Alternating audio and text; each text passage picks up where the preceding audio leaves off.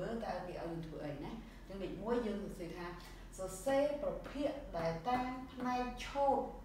នៃរូបនីមួយនីមួយខាងខាងក្រោមអញ្ចឹងតើយើងដឹងរូបអញ្ចឹងយើងក៏លេខមកមើលរូបតិចអ្នកគ្រូស្រង់ឲ្យសម្រាប់អ្នកដែលអត់បានមើលប្រធានតែឲ្យចូលមើលវីដេអូអញ្ចឹងដល់យើងមើលនេះរូបរូបដែលគេឲ្យអញ្ចឹងយើងសរសេរជាប្រភេទចាតាមតើយើងសរសេរបានប៉ុន្មានភាគប៉ុន្មានអញ្ចឹងបងប្អូនបានគិតហើយហើយណា យ៉ាងឥឡូវយើងចម្លើយយើងចង់ដឹងថាយើងត្រូវឬខុសអញ្ចឹងយើងមើលទាំងអស់វាមាន10ចាយើងរាប់ឃើញ10ហ៎1 2 3 4 5 6 7 8 9 10ចាអញ្ចឹង10ហ្នឹងគេបានផាត់ផ្នែកឆោកហ្នឹងអស់6ចាអស់6នេះ1 2 3 4 5 6ចាអញ្ចឹងដល់ទៅពេលយើងសរសេរជាប្រភេទអាផ្នែកដែលគេផាត់ហ្នឹងគឺជាផ្នែកដែលយើងយកអញ្ចឹងវាទៅសេនៅប្រភេទយកចាវាយកអញ្ចឹងយើងសរសេរថា6ភាគ10ចា6ភាគ10 6ភាគ10ហើយរូបទី2រូបទី2ប្រភេទដែរយើងមើលរូបវាប្លែកតិចណាអឺគេពុះជា3ជាពុះជា3យើងរាប់មកឃើញ3 1 2 3ចាប៉ុន្តែនៅក្នុង3ហ្នឹងគឺគេបានផាត់ផាត់យកដែរប៉ុន្តែចំណែករបស់វាហ្នឹងมันបានត្រឹមត្រូវតាមចំណែកដែលគេពុះរេចា មានន័យថាវាអត់ទាន់បានពេញណាចាតែគឺគេតម្រូវឲ្យយើងសរសេរជាប្រភេទយើងនៅតែអាចសរសេរចេញចឹងចឹងយើងមើលអាផ្នែកដែលនៅសបសនេះបើសិនជាយើងយកផ្នែកឆោតនេះយកទៅប៉ះបើឲ្យកន្លែងហ្នឹងតើតើវាគ្រប់អត់ណាវាគ្រប់អត់អញ្ចឹងបើសិនជាអ្នកគ្រូត្រឡប់វាទៅវាចូលទៅក្នុងនឹងពេញលេងណាវាចូលទៅក្នុងនឹងបានពេញលេងអូខេឃើញទេនឹងយើងត្រឡប់អារូបអារូបខៀវនេះអា រូបខៀវហ្នឹងយើងត្រឡប់វាយកចូលទៅទៅក្នុងរូបហ្នឹងណាមានន័យថាអ្នកគ្រូគុំដាក់អញ្ចឹងមកចឹងយើងទៅសេជាប្រភេទបានណាអញ្ចឹងមានន័យថាប្រភេទ1ក្នុងចំណោម3ចាអញ្ចឹងយើងទៅសេបាន1ភាគភាគ3អញ្ចឹងលំហាត់វាមានល្បិចខ្លះចាឥឡូវចូលដល់លំហាត់ទី2លំហាត់ទី2ហ្នឹងគឺយើងត្រូវចេះសង្ខេបប្រធានមកវិញ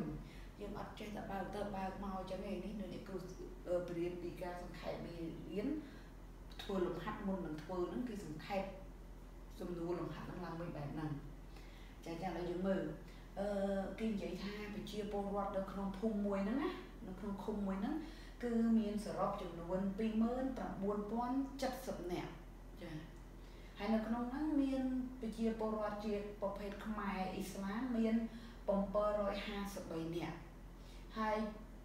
ជនជាតិស្ទៀងហ្នឹងគឺមាន117នាក់ឯជនជាតិគួយហ្នឹងគឺមាន75នាក់ចាអញ្ចឹងអ្នកគ្រូសង្ខេបឲ្យប៉ុណ្ណឹងដើម្បីយើងទីទៀតយើងឆ្លើយសំណួររបស់គេចាឥឡូវគេសួរថាជនជាតិខ្មែរនេះខ្មែរអ៊ីស្លាមនេះមានប៉ុន្មានភាគនៃប្រជាពលរដ្ឋទាំងអស់អ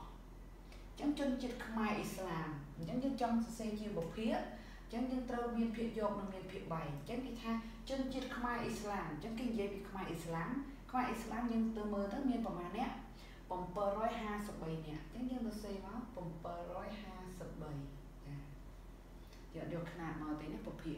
ហើយគេថានៃប្រជាពលរដ្ឋទាំងអស់អញ្ចឹងយើងដាក់នៅលើប្រជាពលរដ្ឋទាំងអស់មកជាពលរដ្ឋទាំងអស់នេះមានចំនួន29070នាក់តែយើងអត់ដាក់អ្នកទេ ចាអញ្ចឹងពេលហ្នឹងយើងបានប្រភេទមួយហើយចាយើងបានប្រភេទមួយបន្តទៅទៀតឥឡូវយើងគេឲ្យយើងសរសេរជនជាតិស្ទៀងមានប្រមាណភាគនៃប្រជាពលរដ្ឋទាំងអស់អញ្ចឹងជនជាតិស្ទៀងឥឡូវយើងមើលជនជាតិស្ទៀងវិញចាជនជាតិស្ទៀងមានម៉ាអ្នកស្ទៀងមាន117នាក់ចាមាន117នាក់អញ្ចឹងយើងយក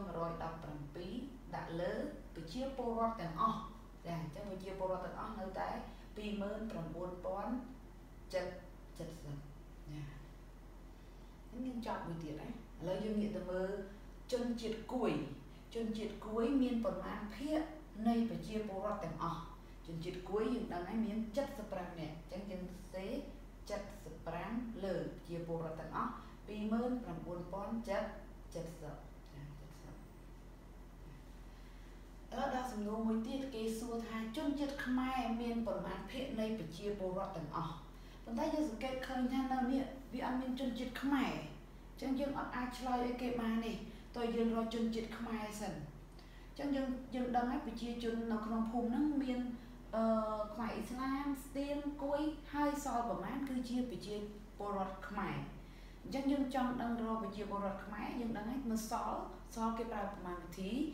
ដកចាប្រមាណវិធីដកអញ្ចឹងយើងធ្វើអីយើងត្រូវរកប្រជាជនខ្មែរសិនមានចំនួនប្រមាណអញ្